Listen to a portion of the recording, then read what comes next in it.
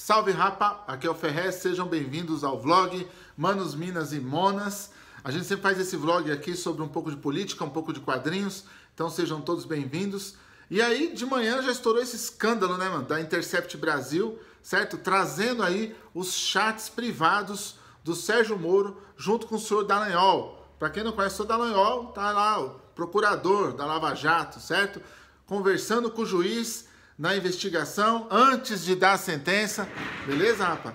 Antes de puxar a cadeira aqui para pôr minha perna, que minha perna fica inchando depois dos pinos, principalmente de manhã. Foda, bagulho de velho, mano.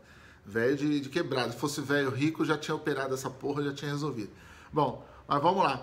E aí o senhor Dallagnol tava o tempo todo conversando com o juiz Sérgio Moro, cara. Isso mesmo, procurador do caso ali tava conversando com o juiz. Então a sentença já tava ali se acertando, né? O pessoal já tava chegando numas ideias finalmente. Então será que não é o caso de o senhor Lula estar tá preso aí? Por que está preso? Porque os caras resolveram trocar ideia, o procurador e o juiz, e arredondar tudo.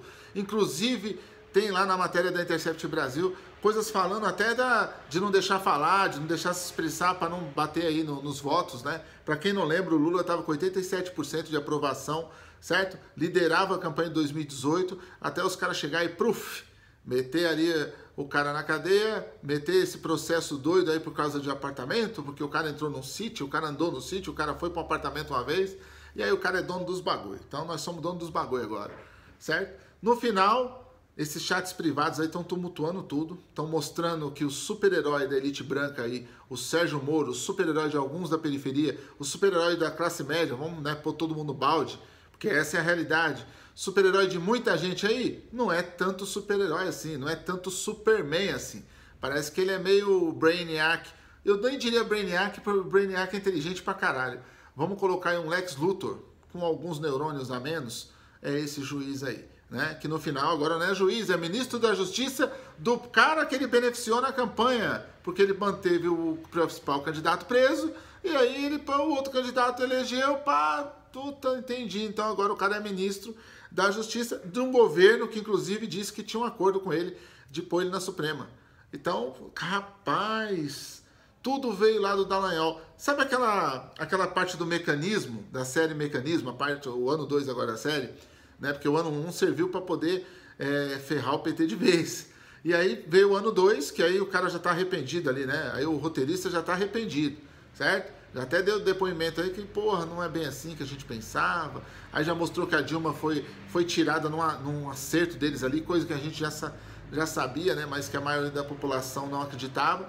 E no final, sabe aquela parte do mecanismo que os caras vão lá e montam aquele, aquele slide lá, aquele PowerPoint, para poder acusar o Lula e falar, não, a investigação vai por aqui agora? que você fala, pô, mas quem falou isso pros caras, né? Quem que deu essa ordem? Do nada. Os caras acordou e falou, ó, o Dallagnol, que é o personagem lá representado por outro, e na verdade é o Dallagnol, ele falou assim, que é o procurador, ele falou, não, vamos por esse lado aqui agora. Que aí apareceu aquele PowerPoint lá. Então aquele PowerPoint teve influência do Sérgio Moro. Tá lá na investigação do Intercept Brasil. Eu vou deixar o link aqui da Intercept Brasil para vocês lerem as quatro matérias e vocês nas suas quebradas, no seu serviço, nas suas escolas, mostrarem isso para as pessoas. Porque agora é, é uma coisa de você tem uma prova, tem uma matéria que prova aí a conversa dos caras, certo? Coisa que a gente só desconfiava, a gente já suspeitava, agora tem prova. E aí, como vai ficar? Vai passar batido? Vamos esquecer? Vamos fazer que, que nem quando faz no caso do, do rap nacional, que, que, que tem uma música que fala sobre o crime, aí quem é preso é quem fala sobre o crime, né? Quem é preso é o MC, é o grupo de rap que foi preso, que nem o Facção Central aí que foi condenado. Eu assinei uma 286 por fazer um texto. Então a gente, quando fala de um, de um, de um caso absurdo de criminal, a gente é preso, é julgado, é condenado. Vai fazer a mesma coisa? Eles vão correr atrás dos repórteres, então, em vez de, de, de se aprofundar na investigação e pedir a expulsão desse cara como ministro, esse cara não tem como permanecer como ministro de nada. Ele tem que voltar para lá, ele tem que voltar. nem sei que trampo que dá para pôr pra esse cara, na moral. Nem sei se esse cara merece mais trabalhar, velho. Depois disso aí, tá ligado? Para vocês terem uma ideia, rapaz, do que eu tô falando, é a mesma coisa de você ser pego, pegando um pãozinho na padaria, e aí na hora de o juiz te julgar, o juiz teve acesso ao procurador e eles emaranharam como vão, você vai permanecer ali mais um ano preso por ter roubado o pãozinho. E o seu advogado de defesa não sabe de nada. Então não é justiça isso, cara. Isso não é uma coisa digna em nenhum lugar do mundo, isso é aceito. E aí a gente vai. Será que vai aceitar no Brasil? Será que vai passar batido?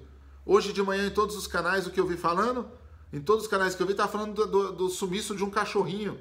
Não estava falando desse caso. Espero que até a hora que esse vídeo for pro ar, esteja pegando fogo isso aí. Porque isso é muito sério. Isso é muito urgente, tá ligado? Não, não é brincadeira, tá ligado? Um cara que hoje é ministro da Justiça, um cara que hoje é envolvido com o governo, que ele ajudou a trazer e, e, e, e julgou o outro governo que está preso, certo? O ex-presidente do Brasil foi preso e agora estão falando que isso tudo foi arrumado. Estão falando não, estão trazendo as provas da Intercept Brasil. Inclusive a Intercept vai trazer, tem mais provas, tem documentos, tem vídeos e falou que vai soltar tudo. Então segura que o BO é grande.